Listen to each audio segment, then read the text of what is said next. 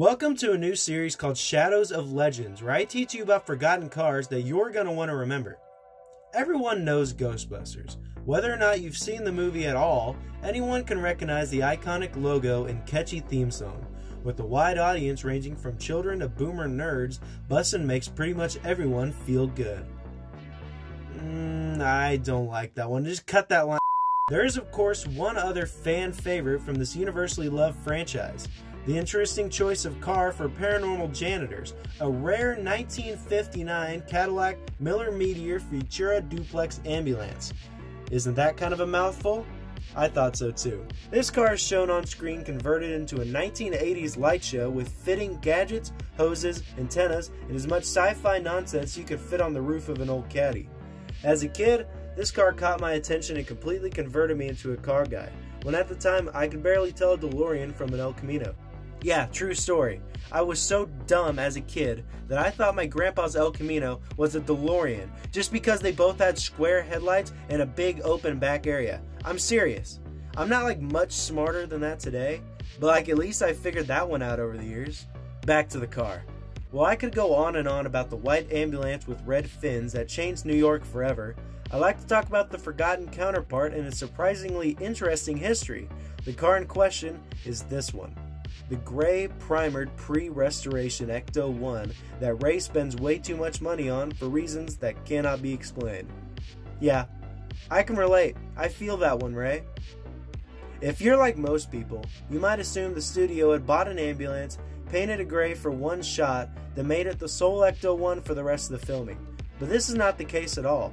Columbia had already owned and built two Ecto 1s, and they only needed this one for one shot. It was an entirely different car, rented and shipped across the country to use for just the one driving scene and the one little shot in the firehouse where Dana immediately beams every man in sight with her simp ray. All the information I'm relaying is thanks to the Facebook groups and GB fans. Special thanks to the Ghostbusters archive page and Alex Newborn on the GB Fans Forum for organizing this massive amount of information about this car. It's truly impressive documentation. Let's start at the beginning. In December of 1982, a young EMT named Roger Bay saw this used fire department vehicle on a Chicago used car lot with make offer written on the window.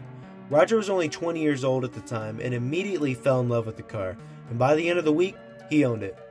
A year later, his company was contacted by Columbia Pictures looking for his exact make and model car to act as a before shot for a new movie, and a deal was made for them to rent it for four months. During that time, Roger used some of the money Columbia had given him to fly down to California to see the filming. When he arrived, he was met with a black and gray ambulance which if you've been paying attention, you'll notice it's supposed to be red and shiny.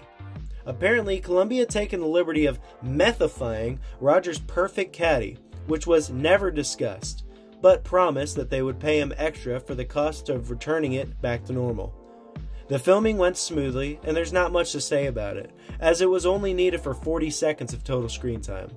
When Roger and his then girlfriend Annette got the car back, it also came with some bumper damage on the back, which just goes to show why you don't let interns drive the car and why no one will ever drive my Recto 1. Ever. Never. Ever. Roger was one of the first Ghostbusters fans, probably only tied with Jason Reitman, the director's son who spent a lot of time on set and is now directing the third installment of the series. Roger was so excited for opening night that him and his girlfriend made paper Ghostbusters logos for the doors, taped them on, and went to a drive in for the first showing. Like, I bet people were so confused when the when they saw this black ghost thing in the drive-in movie before the movie started. Like there was no context or anything.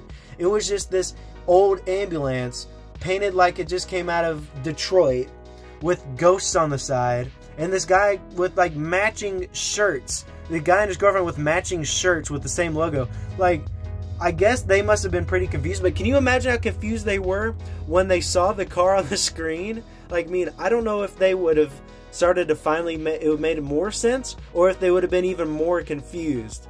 Either way, I guarantee it was some pretty good shit. Uh, Roger and his now wife, Annette, owned the car for four more years until he finally made the difficult decision to part with it. The car went to a paramedic in Illinois and is believed to still be in the same ownership after all this time, hopefully in deep hibernation somewhere safe in the ancient catacombs of downstate Illinois.